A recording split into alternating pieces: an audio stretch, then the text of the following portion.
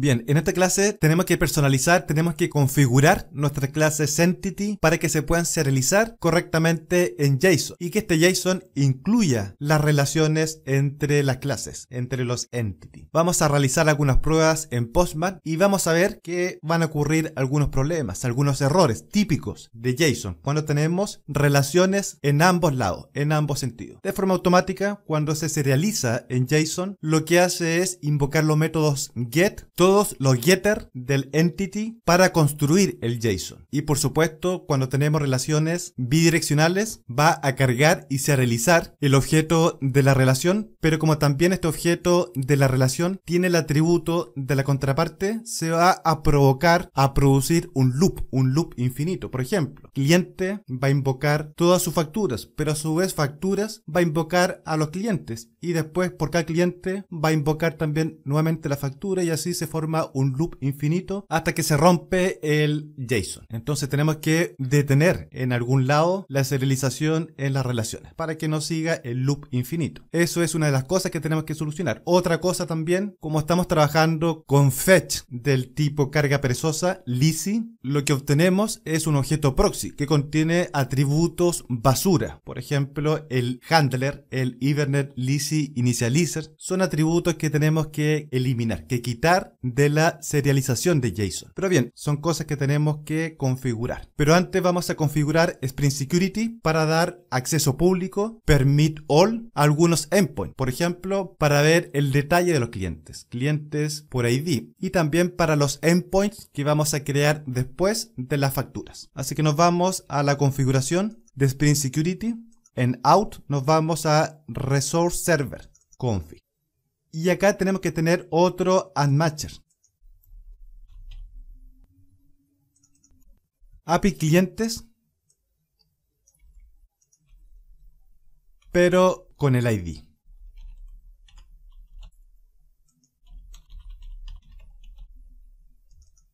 Vamos a copiar. Y vamos a pegar. Y este sería para las facturas.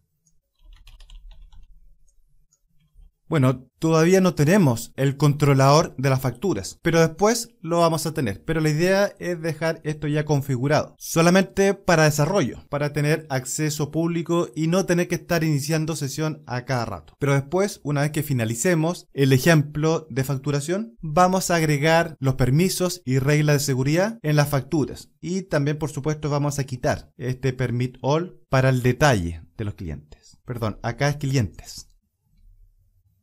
Me comí la S, en plural. Bien, y lo segundo, nos vamos al controlador. Y en cliente ID, en el método show, para ver el detalle, vamos a comentar el secure. Solamente comentar. Pero como digo, después vamos a volver atrás y vamos a agregar todas las reglas correspondientes.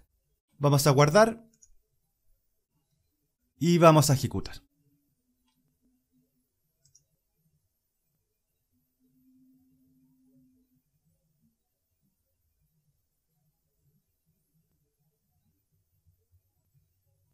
Y en Postman vamos a ver el detalle del cliente 1.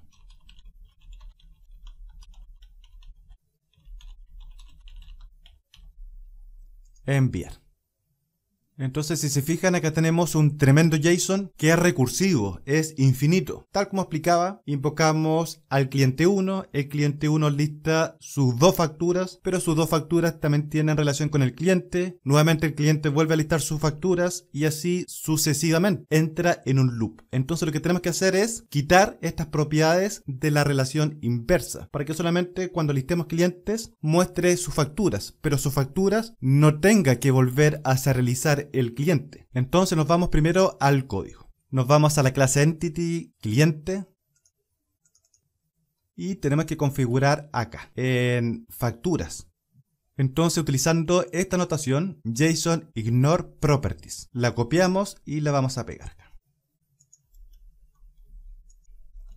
Es un arreglo, así que con las llaves y de la clase factura de este atributo por cada factura vamos a ignorar la relación inversa, que sería justamente cliente.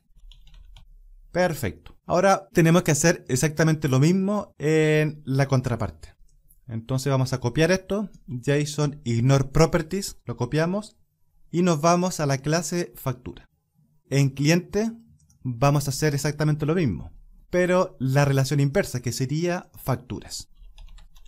Entonces cada vez que queramos listar a una factura, vamos a obtener el cliente, pero de este cliente vamos a ignorar la factura para no entrar nuevamente al loop infinito. Entonces es importante ignorar siempre la contraparte de la relación, la relación inversa. Vamos a guardar.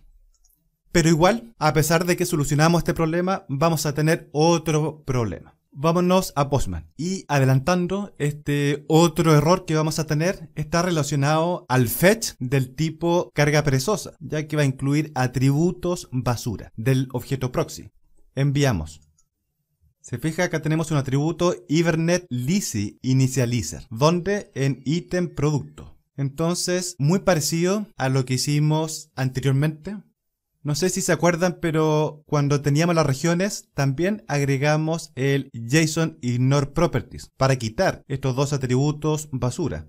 Entonces lo que tenemos que hacer es copiar esto y lo vamos a incluir en cada relación. Partiendo primero por ítem factura, que es justamente donde nos dio el problema. En producto, acá. Pero también vámonos a factura. Vámonos a ítems. También lo vamos a incluir. Y en cliente también vamos a incluir estos dos atributos. Junto con facturas, son atributos que tenemos que excluir, ignorar en el JSON. Vámonos a cliente. Y en cliente también.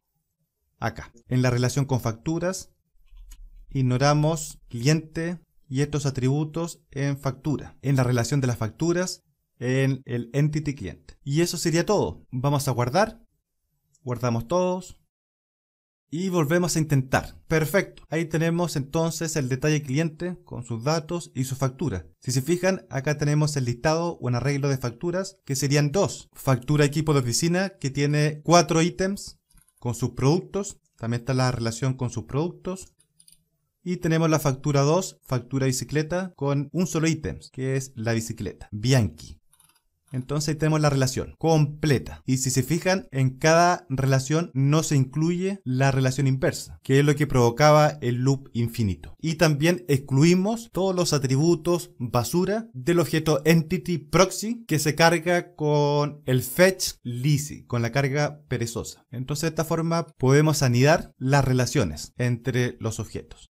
Cliente contiene facturas, facturas contiene ítems, varios ítems, y cada ítem va a contener un producto. Entonces ahora sí que estamos listos para comenzar a trabajar también en paralelo en el frontend. En la próxima clase vamos a ir a Angular, vamos a crear nuestras clases TypeScript para la factura, para el ítem factura y para producto. Y la idea es listar las facturas en el detalle del cliente sus facturas asociadas. Por ahora quedamos hasta acá, nos vemos